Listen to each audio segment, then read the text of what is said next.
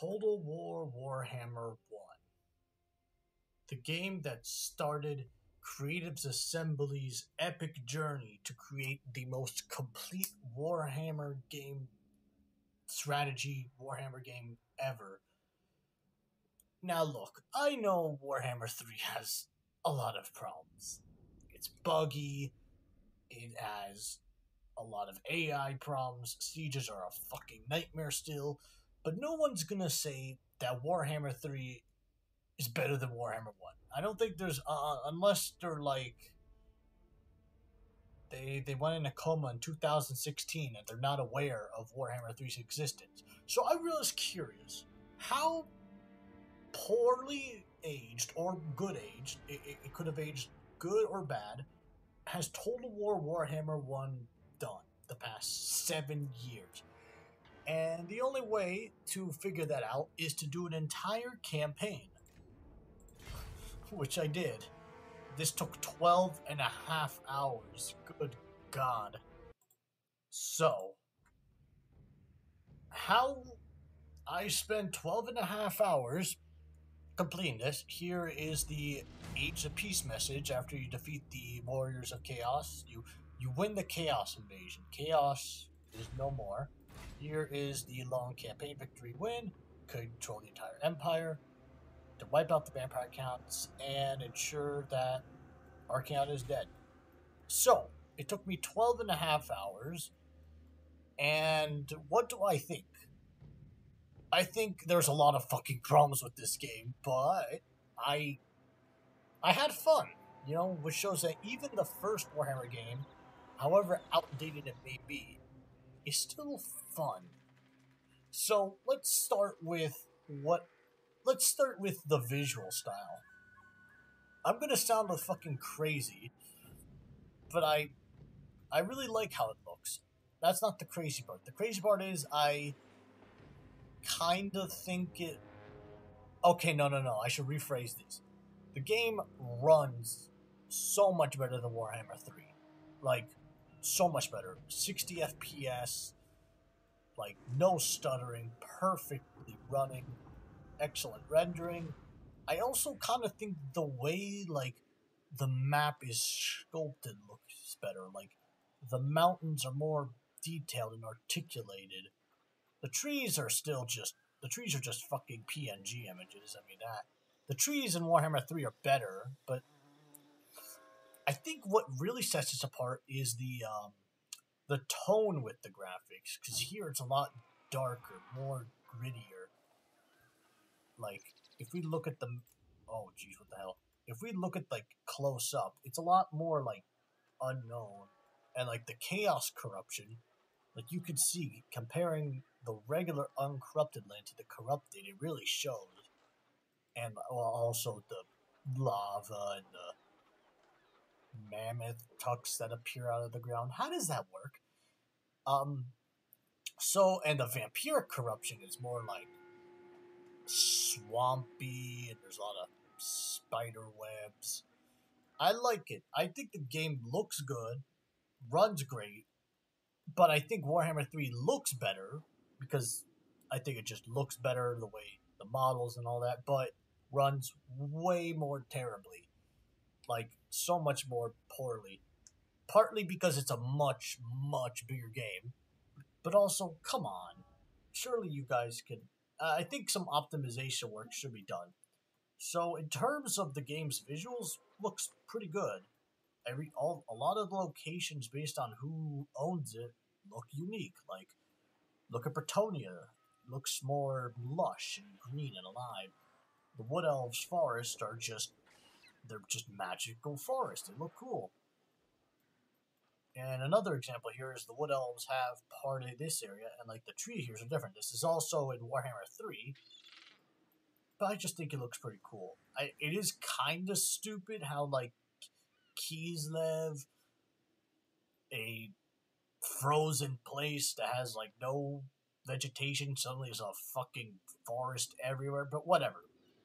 So, what else is good? Um, I, uh, hmm, what else is good? Uh, Oh boy. Um, no, no, wait, hang on. I kind of like the narrative it was going with. Like the, in Warhammer One and Two, when you start a campaign, whether it be in the base game here or Mortal Empires in Warhammer Two, you had like a chapter, like you were. It was like a book, like chapter one, chapter two, chapter three, and it was simple. You you uh, collect settlements, you occupy settlements, and there's bonus objectives, similar to like past games, like a Total War Attila, for example. And it makes you feel like you're slowly growing out an empire. And after a while, you know, the chaos invasion happens, and that's like your turning point. Like you've you've grown your empire to but you're like still like nowhere near as powerful as you could be.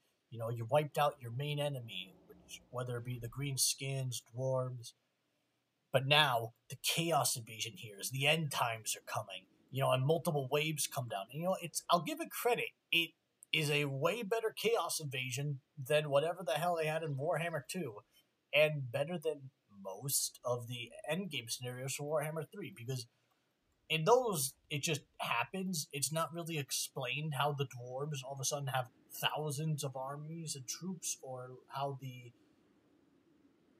I mean, the only one that could make sense is the Tomb Kings. They just summon a bunch. You're the Black Pyramid of Gash. The vampire counts to an extent because it's undead, but like, yeah, expecting like thousands of greenskins dwarves just to appear and just starting fucking shit up, that's ridiculous. Here, the Chaos Invasion makes sense. It is the turmoil of the land.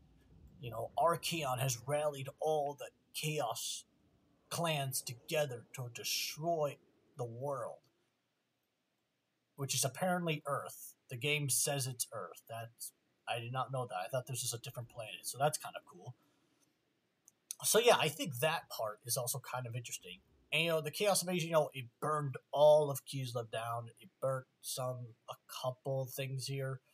But the problem is though, it comes from just one location. So like if you're like anywhere else in the map, if you're like in the Badlands, the mountains, Bretonnia, you're never seeing them. It, it's never going to happen. The Empire is the main faction to play if you want to fight Chaos.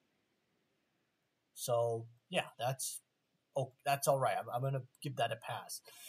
And I think that's where my positive is in. Yeah, this game, um,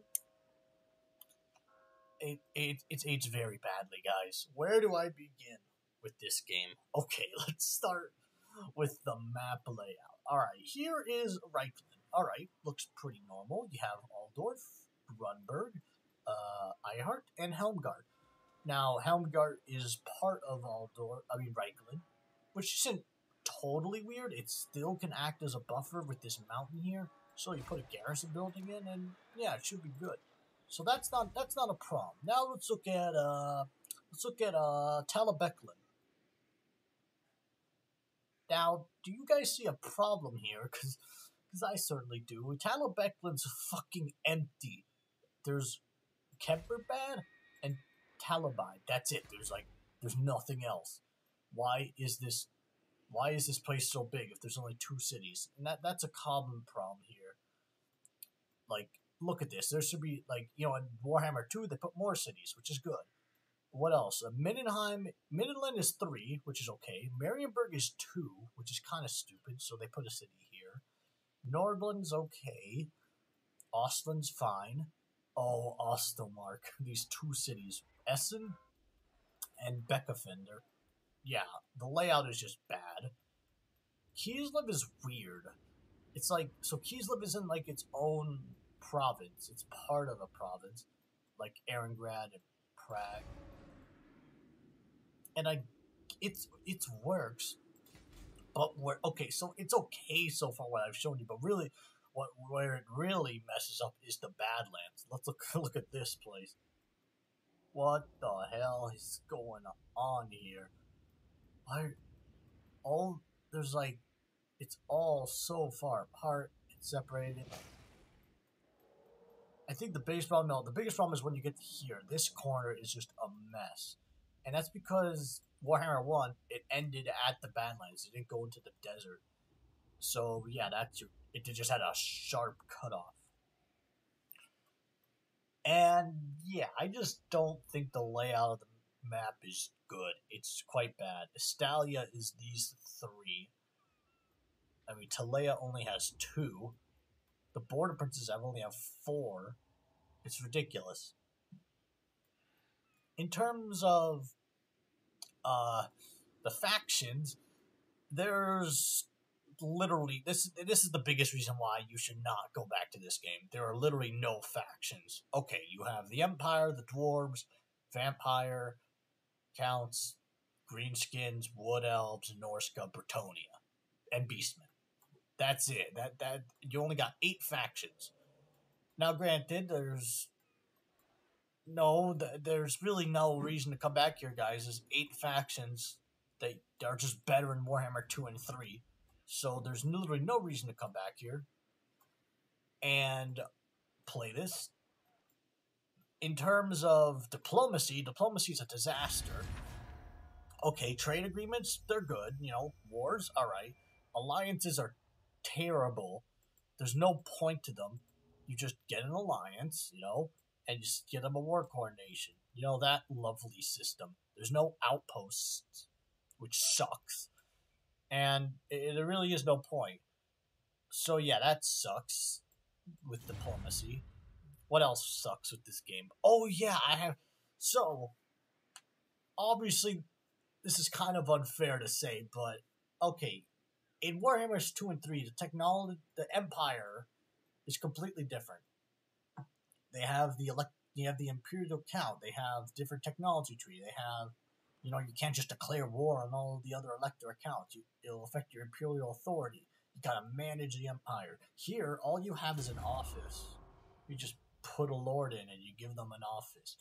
The technology tree, you need to build that building to use to to start researching it. So not only do you have to build it first, you gotta then spend like 15 turns to do it. it these are these take way too long and they're so long and they're not even that helpful. There's a couple of ones like this one's good, that one's okay, that one that one helps, that one also helps, but the rest are just garbage. They're really bad.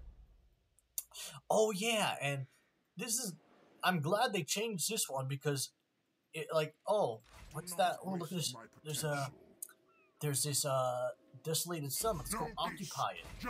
Oh, what? I can't? Why not? Oh, because it's a fucking mountain. Yo, that would be stupid to settleize a mountain. What do you think you are, a dwarf? Go back to your city in the plains. Yeah, that's really stupid. Only the dwarves can colonize the mountains, which I, I mean, thematically it makes sense, but that's also really stupid.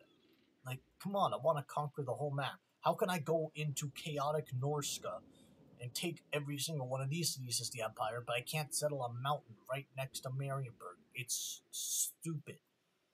Um, there's more. What I, I where's my list? I wrote I wrote down a list of everything I didn't like. I just the the game's too easy. The auto resolve is broken. Like, it take a look at this. Pick up the oh, pace. get back here. Like, look at this auto resolve. Really? Okay, well that was not too shocking. But guys, the auto the auto resolve is just broken. Step to it. Like I think it Yes, my lord. You know, just yeah, we'll colonize that shit. So well, the biggest problem I had, like it was way too easy just to like auto resolve. Like the chaos, the final chaos invasion came with Archaon and, and three other, there's four armies. So I just put four armies together and I just auto resolved that I, I, that's it. The chaos invasion's done. No more. I auto resolve the chaos invasion. Just that's it. We're, we're on the save. What? Seriously? Come on. That's so ridiculous. That's so stupid. It, it's so dumb. We shouldn't be able to auto resolve the chaos invasion. Uh, what else is there? Oh, wait, wait there's um, there's a complete lack of like units. So the Empire it isn't too noticeable. You have most of the things here. You got the basic infantry. Got that. You know, the Empire doesn't have the biggest effect of it. But like the dwarves, I think I, I think when it comes to the basic main game factions they're all there, but like the Beastmen got multiple DLCs that added more units, and they're not there. You know, like it's just a mess. There's, there's like you could just you know no the problem is you could just spam the basic units. I mean look at these stats here. I just spam them, and it just breaks the game. What, what's the point? There's no need to f- fight the game. There's no need to fight the battles if you just auto resolve it. Because the auto resolve sucks. I mean, yeah, at least in, and, you know it does the stupid bar thing. Like in Warhammer Three, it has it tells you clearly what is going to happen and in Warhammer 2. This game, it's a bar. You have to guess if, and there's a chance you just might lose, even though you have overwhelming forces. And just lose units for no reason. It's it's a mess. Uh, what else is there? Let's go through it. Uh, objectives, yeah. Technology is bad. Treasury. I, I do like how they put a button for the faction summary. You know, the time, the uh, time lapse is, well, I mean, it's a time lapse, but it's still pretty cool. Look at it go. Wow. Annual statistic. So yeah, this game has aged very poorly. But you know, as crazy as it is, there's some things this game, other things this game does right. First of all, every faction you play, when you choose it and you sl- start the campaign, it plays a 3D rendered cutscene. The only Warhammer game to do that. Warhammer 2 and 3 have like 2D drawings with dialogue at the very least, Warhammer 3 is more interesting with it.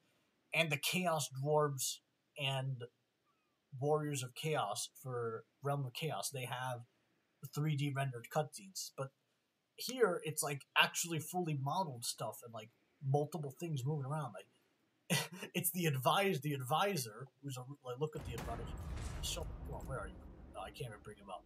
The advisor is an old man, like really old and crippled, corrupted by chaos. he's like going wandering around and showing up at the Empire or like the dwarves or in the fucking chaos realm just to meet the faction leader. It's it's stupid, but it's funny. But it's good. It's cool.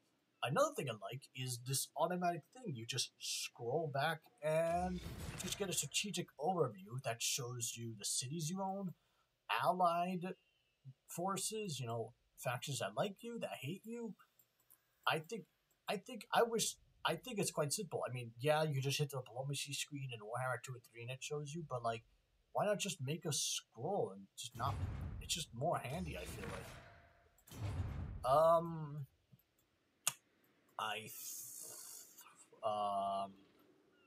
Yeah, no. This game is this game is aged very poorly. Don't come back to it, for the love of God. Go if you don't like Warhammer three play Warhammer 2. If you like, if you don't like that, don't play Total War at all. Okay. Um, yeah, that's it. This is a. It's it's not terrible. I mean, I still think you should buy it to get play as all the factions because there are fun. The, the Empire's fun. The Dwarves are outdated. The Vampire counts aren't that good. Oh, no, the Greenskins are great.